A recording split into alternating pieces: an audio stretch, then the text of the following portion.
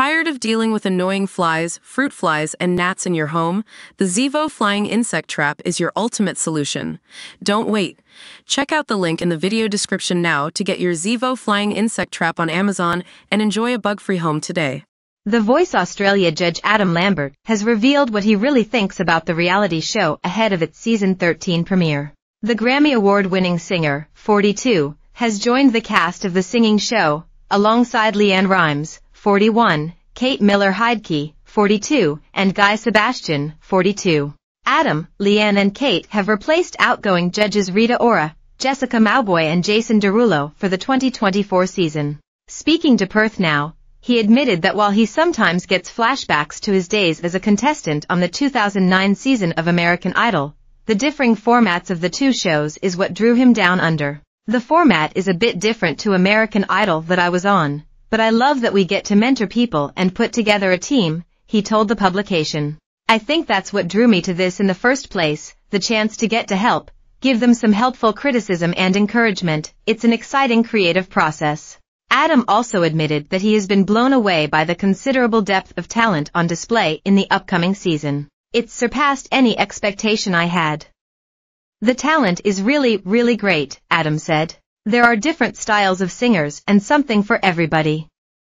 I know that sounds like a generic pitch, but there really is. We have singers doing contemporary pop songs, country, and soul. After rising to fame as the runner-up on the 2009 season of American Idol, Adam launched a successful solo career with his Billboard number 3 debut album For Your Entertainment. He then took over from Freddie Mercury as the frontman for British rockers Queen in 2011.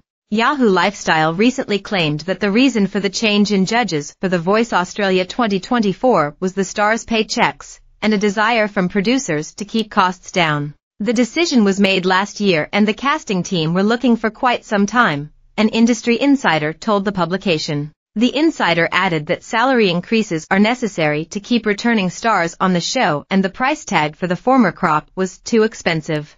The company line was that Jessica, Rita and Jason were all too busy, but I don't think anyone is too busy to pick up these sorts of paychecks. It certainly did have a lot to do with keeping the costs down. With former configurations of coaches being praised for their on-screen chemistry and diversity, the insider added that Channel 7 executives were nervous about the new lineup. They claimed that the network was worried when Keith Urban departed the show in 2022, adding the success of the show proved they had found the right replacement.